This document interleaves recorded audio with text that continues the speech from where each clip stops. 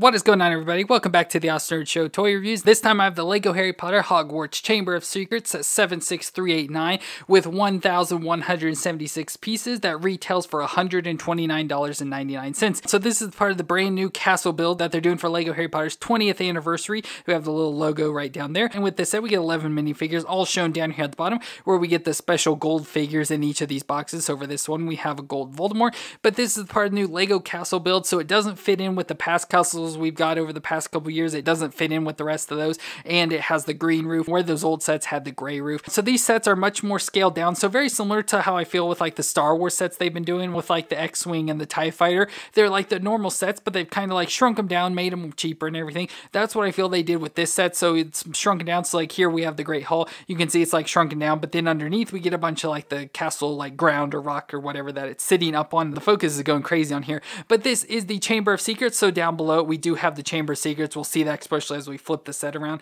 And so we have a basilisk, we have the entrance to the chamber over here, and a bunch of other stuff that goes along with the Chamber of Secrets and a bunch of characters and everything. So a lot of this has to do with the second book, movie, whatever you want, of Chamber of Secrets. So we get a lot of characters and scenes and stuff from that. But of course, once we get the whole castle put together, which includes at least two more sets, so once we include those, we get another Chamber of Secrets set of the bathroom. But then we also get the third floor scene with Fluffy, so that doesn't fit in because that's from Sorcerer's Stone. So they just kind of throwing a whole bunch of stuff here together. But it's a nice looking castle, I will say that, like especially from this view, I think it looks nice. But when you get flipped around, that's when some issues start to appear to me. So if we flip the box around, you can see what it's going to look like on the inside. So we can see the opposite side of the castle. So we have the Great Hall, we have the defense against the Dark Arts classroom, the defense against the Dark Arts teacher's room, which in this case it's Gilderoy Lockhart's. We get a little astronomy tower thing at the top, and then we get the Chamber of Secrets all down here in the bottom. So that all looks cool. I really do like the chamber. That's like one of the best parts to me. I think it looks probably the best Chamber of Secrets there's been. So that all looks great. So I'm excited to show that to you. And I do forget we do also get these wizard cards, the like from the Chocolate Frogs. There's six of them in this set.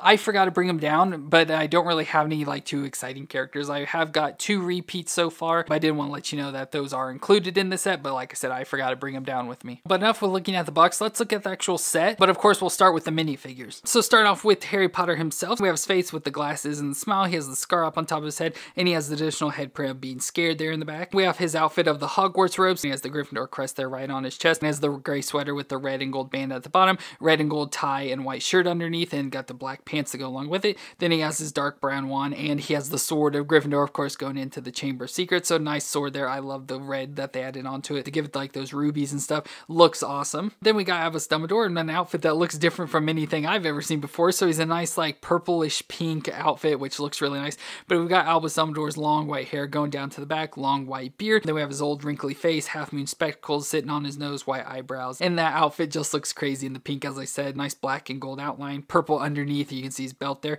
And then he has his wand there in his hand. Of course, it'll be the Elder Wand. Then we got Ginny Weasley, which is also in her Hogwarts robe. So she has the Hogwarts crest and the same outfit as Harry on underneath. We got Ginny's face. So she has the little smile there, freckles on her face, and she's a redhead. And speaking of, she has her long red hair there. And around on the back, she's got a worried face. Again, same robes, just like Harry, just a little different design. Hers are closed where Harry's were open. She comes with her orangish brown wand. And we have Tom Riddle's diary. And you can see it's already got the poke holes from the basilisk fang. So that's a fun little book. There's nothing on the inside, of course, since when you write it kind of disappears, but that's fun. Next, we get Luna Lovegood, which is a fun character. Of course, we don't see her yet by Chamber of Secrets. We haven't met her yet, but she's in her Ravenclaw robe, so just like Ginny, but in Ravenclaw colors. So blue and silver in this case, but it's supposed to be blue and bronze, but she has the little Ravenclaw logo there on her chest. Gray shirt with blue and silver stripe, blue and silver tie. Then she's got her face with a very similar face to Ginny's with the little smile. She has the long blonde hair going down the back and then a worried face just like Ginny. And then she has her dark brown wand in her hand. Then we get Colin Creevey, a fellow Gryffindor to Harry Potter, and he's in the outfit just like Ginny, so exact same body design with the Gryffindor logo on his chest. We have Colin Creevey with his big smile there and his eyebrows are raised with his happy face, his poofed up blonde hair, and a worried face there on the back. And I like on these figures, I haven't pointed out yet, that they do have the points of the robes there printed on the back, so that's pretty nice since they do have like the pointed hoods with the red underneath for Gryffindor in this case, so I forgot to point that out, but that's nice. And he comes with a really dark brown wand, or black almost, and his camera, so he got the nice camera piece here. Looks very nice, I like the way it's designed. Looks very similar to how it did in the movie. Then we get Justin Finch Fletchley, and he looks pretty nice here, so he is a Hufflepuff, so he has the Hufflepuff logo in the yellow and black, and same outfit design as all the others, but obviously in, in the yellow and black, black legs, face there with the freckles on it, again, very similar face to what Ginny's had, worried face on the back, and his brown hair all swooped over to the side, and a sand color wand. Then we get Professor Gilderoy Lockhart, of course, the teacher of Defense Against the Dark Arts in the second year. Looks pretty nice here, figure overall overall, of course, Gilderoy is full of himself, so he's going to have a nice outlandish outfit on. So he's a nice orange suit on with a tan and gold vest and a red and gold necktie around his neck. Nice big smile there. Of course, some wrinkles on his face since he's a little bit older. Nice blonde hair all combed over to the side and to the back and around on the back of his face. He's got like a worried face, you know, where he's starting to be caught. He has a little sweat drop there on his head. Then he has this sand brown wand. Next, we have a figure I've never had before, but of Aurora Sinistra, and she is the astrology teacher at Hogwarts, and she is a nice looking figure overall. You know, looks like the classic female teacher design. Has that nice newer design slope piece there to the back.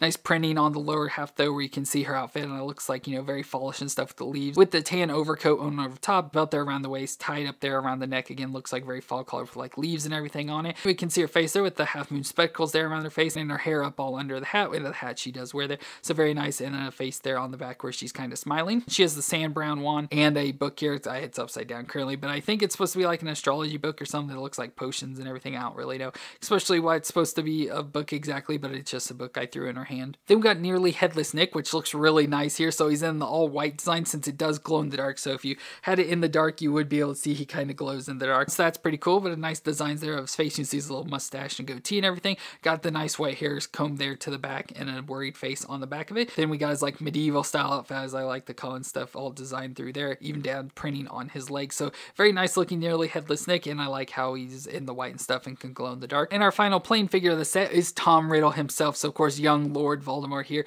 Tom Riddle in the old Hogwarts outfit. Of course it is on like all of grayscale except for his skin since we like we saw him in the flashback. So his outfit looks all black and white. But nice face, you know, with some lines and stuff on it that makes him look a little bit older with the nice brown hair. And around on the back we do have an angry face. Looks more like Voldemort and everything. So just very nice looking figure overall. It is an older character so he does have the taller legs where all the kids have the short stubby legs. So it looks very nice. Even has the some of the printing of the robe down on the gray legs. So looks nice overall. And that's a perfect transition into our gold figure for the 20th anniversary of Lord Voldemort with this set. So nice all gold figure here, nice gold base for it to sit on. Gold robes that completely cover him with even the little star sparkles on there. As you can see them look nice.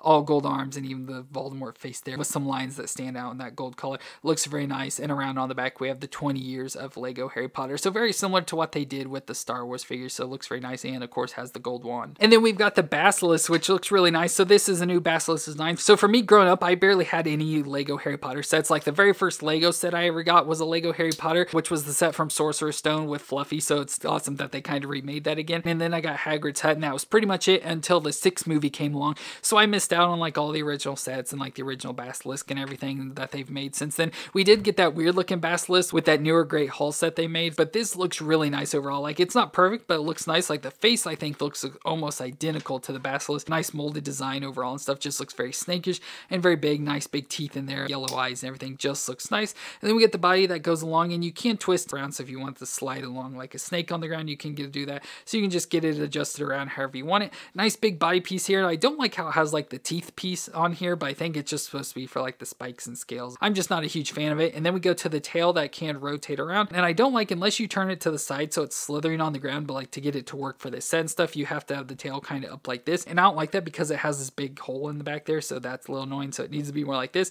but then it can't slide on the ground. But then we have three tail segments here. So the one, two, and three, and each one can spin on its own. So you can adjust the tail however you want. So it's just a nice looking snake figure. The face looks really good. The rest of the figure is just okay, but just pretty nice basilisk to go with our set. And that brings us to our Hogwarts castle build. And like I said, it looks very nice. I really like the look from the back here. It looks very much like Hogwarts. So the very like rockish bottom all the way down here, where then like the Great Hall sits up high up on the rocks and everything. So it looks very nice. So it looks very much like the Great Hall here. Love that design with the tan and the sand green roofs. I just like that design a lot. Have some flames on there, even flames down on the bottom with all the rocks. We have a frog here, which reminds me, there's like so many frogs all over this set. It's like crazy how many of these sets, like almost every set comes with a frog and there's almost a frog everywhere. So we have the little green frog there, brown frog there. And as we turn it around, you'll see all the different frogs. So it's just weird how they're including frogs with so much in this set. But we got the Great Hall there in the middle. Then over here, we get more to the classroom. So this is the section of defense against the dark arts. And so we'll see, of course, when we flip it around. But we have a nice little Hogwarts crest, little sticker piece there on the back. And go up to Gilderoy's office. And then at top where we have the astronomy tower. And we do have a little Hedwig up sitting up there at the top. And this nice little see-through piece to put nearly headless Nick on if you want to have him floating around. Then, of course, part of the like castle wall up there they can see down over the side.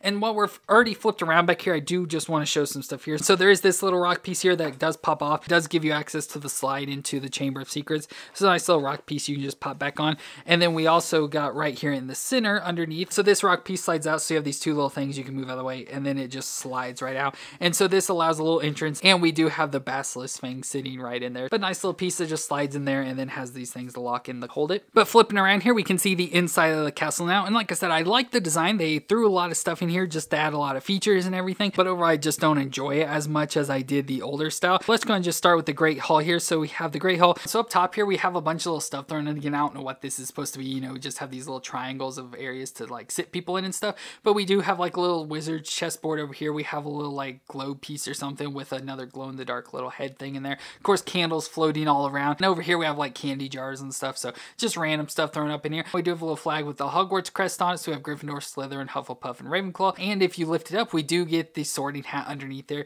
So we have a little sorting hat that just kind of sits up in there. So weird place to hide it and everything, but it does sit up there real nice and kind of sticks on there. And then once again, do want to point out we do have a frog sitting up there at the top. And as we go down into the actual Great Hall, of course, have more frogs sitting on the table. I like the front little table here. So we have a croissant some cups of tea. We have pixie puffs and cheery owls, which is pretty funny. We have the teacher stand up here. And of course, this little piece here where Dumbledore stands to deliver message at the beginning of the year. And of course, we have one of the fireplaces back in there. So we have these little tables and these tables just barely are on here. So they pop off really easily. So we have this and it's, you know, you can have this sitting here and have characters facing out this way like they're sitting there.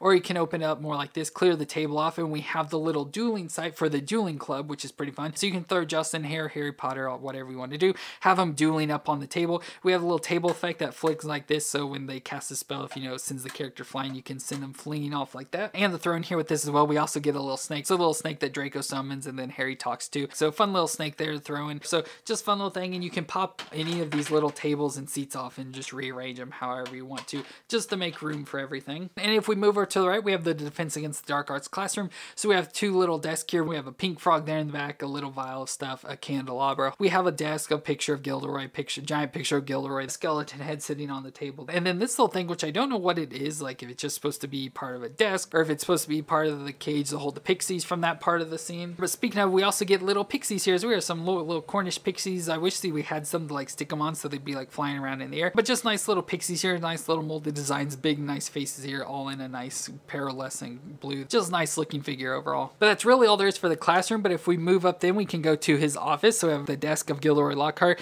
They have a bunch of pictures in the back. So of course he is obsessed with himself. So he has the picture of him and Harry from the bookstore in Diagon Alley. Then just a bunch of other random pictures. Some of his fan mails with some pictures that like Harry helps him sign. And a little thing here to hold one of his wigs. So apparently he wears some wigs. So that's pretty fun.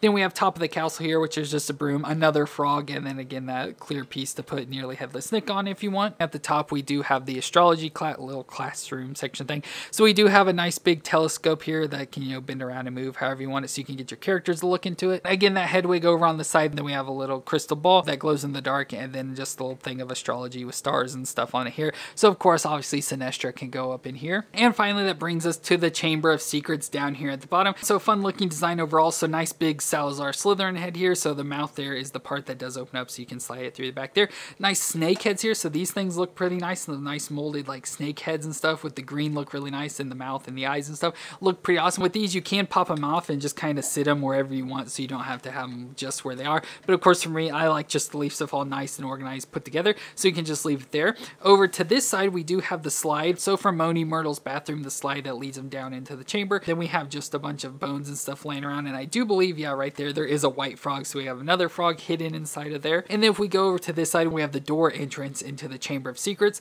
So again I don't like this design. I don't like the way it's just like set up like this is just sort of how it shows it in the picture on the box so that's how I threw it. But technically this should be like right over here because they have the slide that leads down into it and then when they have the door and then the door leads into the Chamber of Secrets. So it should be somewhere over here like sitting this way but you can't like peg it in this way or anything so you just have to kind of leave it where it is at one of these ends. But it's a pretty nice design. Of course all these just peg right together. But nice door design with the snake heads all over it which is pretty nice and just some green and stuff. Of course designed by Salazar Slytherin so it's going to have a lot of green. Nice little owl just sitting up top here. Again this should be a pie with the whole point on stuff but whatever. And then around on the back there and of course the door can open and it just opens. Doesn't really do a whole lot. Just opens and swings back and forth there. So I just leave that pegged on to the side here. So that's mostly it for it but we can go ahead and open this little piece down here at the back. It's like in the movie it does open up and then the basilisk comes crawling out from under it. So you can do that with this basilisk. But of course to do it like I said you have to have the head kind of straight on here and the tail kind of straight on for it to slide right through. If you have it off to the side like this, like he's slithering on the ground, it won't be able to fit through through. So you have to kind of just leave like this and just kind of snake him through, no pun intended, snake him through there and get it to slide back through. But then we can just go and slide this piece right back in to form that mouth again. And that's all the features for this Hogwarts Chamber of Secrets set. So I like with this castle, once I get all the other sets put together and reviewed and everything, we can put the whole castle together and it does kind of rearrange some pieces. The stuff doesn't fully make sense, you know, with the way it's arranged, you know, all the Chamber of Secrets stuff should be on the bottom. And it is, but it's just the arrangement of it. I do like, because we do have that bathroom set that goes along with it, so you can place it like above the slide here so they'll actually slide down into the Chamber of Secrets stuff. So fun little features like that will fit together once we get all those pieces. But overall, like I said, it's a nice new castle design. I was super excited for this, but then after like looking at it put together, I've been kind of let down. This set overall reminds me a lot of those old Harry Potter sets from their very early on movies. Like I said, the sets I never got, now looking back at them, I do think they're all kind of stupid looking, but it just reminds me so much of that, just the way it's designed and how everything's small and shrunk down. But I hope they end up adding more stuff for this castle because I do want to see this castle maybe get real big, maybe be able to rearrange a lot more stuff and it all work out together and look really nice. But like I said, at least when it's twisted around here to the front, I do think it looks really nice just because I like the design of the ground on the bottom and the castle up on the top just looks overall really nice. But that is it for my review of the LEGO Harry Potter Hogwarts Chamber of Secrets set 76389. And overall, like I said, I really like the look and design, especially from the backside here, but all the stuff on the inside does leave some to be desired, like it's not the most exciting thing. A lot of stuff with these new Harry Potter sets do seem to be a little bit of a letdown. I feel they just went as boring as they possibly could with each of the sets, and like for this one, each of the rooms. I feel they could have put a little bit more effort. Of course, would have been more Lego pieces and more cost and everything. But overall, I do like the general design of the whole set. So it's very nice here with all 11 minifigures that we got with this set that all fit perfectly, of course, for the Chamber of Secret, except for Luna. She's a little bit one that's kind of weird. But then we get the nice Basilisk figure and the gold Voldemort thrown in here with it. So overall, I have to say it's a pretty nice set, and I do really enjoy it. But let me know what you thought of the set down in the comments down below, and if you enjoyed my review, please leave a thumbs up for me. And if you want to see more of my LEGO set reviews, hit that subscribe button down below. But I want to thank you all for watching. I hope you all stay awesome out there, and I'll see you in our next review.